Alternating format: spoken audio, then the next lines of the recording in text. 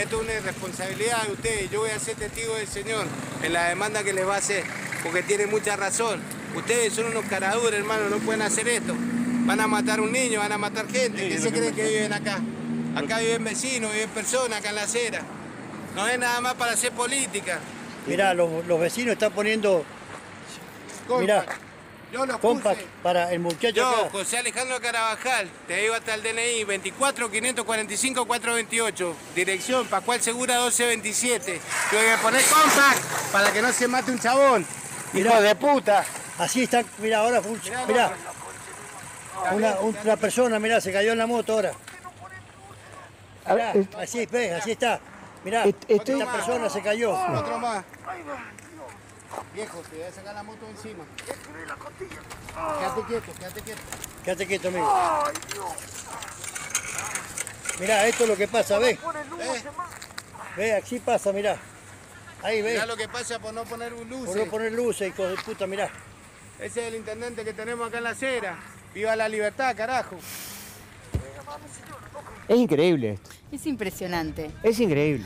Parece Es decir, una si vos lo- escena, ¿no? Si vos, lo, si vos, lo, película. con- si vos lo, te- lo contás, no te lo creen, porque en el mismo momento que están grabando el video, viene uno, se hace pomada, uno que Sí. venía mane- manejando una, una moto. Cualquiera podría pensar que hay actores en este video, ¿no? Digo, alguien va a pensar que efectivamente hay actores, que una persona en esos pocos instantes que está diciendo, che, nos señalan esta, esta obra es peligrosa, venga alguien y tenga este accidente en moto y encima en el piso diga, che, pongan luces, ¿no? Como colaborando con el reclamo que estaba haciendo en ese mismo momento el vecino en Mendoza, la verdad que este, es increíble.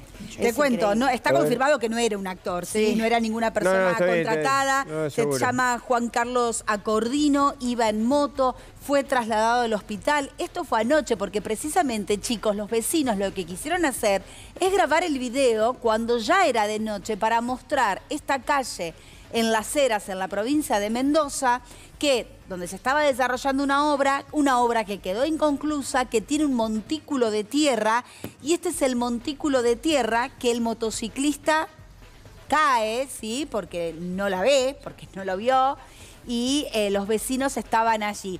Algunos en redes hasta cu- cuestionaban, decían, seguiste grabando el video y no ayudaron al motociclista. Hubo verdad. vecinos que llamaron a la ambulancia, que... Aparecen los haters y te Y dicen, le te, te cocina. no, Pará, te pero un cocina. po- pero un poco de razón Tienen razón. che. Te cocina, sí, te No, cocina. Siguieron grabando y Se no, siguieron no grabando el video, claro. El pobre muchacho estaba con la, con la, ayudaron, no con la pierna rota y este estaba con el video diciendo, eh, mire, se Chocho rompió de que le estaba saliendo bárbaro además. Che, escúchame, esto me está saliendo bárbaro. Qué mejor demostración que lo que acaba de pasar, estaba pensando el Claro. Pascual Segura y Capitán Vázquez, ahí enfrente de esa esquina es donde vive este hombre que dijo, yo no tengo miedo, yo doy mi nombre, mi número de documento, mi dirección y, estamos reclamando. Pero, a ver, eh, este video que se hizo viral en las últimas horas, creo que también habla un poquito de las obras que quedaron paralizadas. Lo podemos ver, yo lo veo prácticamente La en las pública. rutas, ¿no? Cuando ves eh, pozos, baches eternos en autopistas nacionales y provinciales por la falta de obra pública, los accidentes que se producen por falta de señalizaciones, eh, algunos municipios en calles dentro de las ciudades, cualquier ciudad de la provincia o Mm. en el interior del país, que ves esto como pasa en Mendoza, ¿no? Que no se están haciendo obras, que no se hace bacheo y que se producen accidentes Afortunadamente, en este caso, el motociclista fue trasladado con heridas leves, le hicieron placas radiográficas ayer en el Hospital de las Heras en Mendoza, pero hay otros que tienen consecuencias fatales. No, sin duda, claro. Y esto es parte de lo que hablábamos cuando empezamos el programa, ¿no? Digo, obras también que no solamente que no se están haciendo, no se está invirtiendo públicamente, sino que quedaron en la mitad.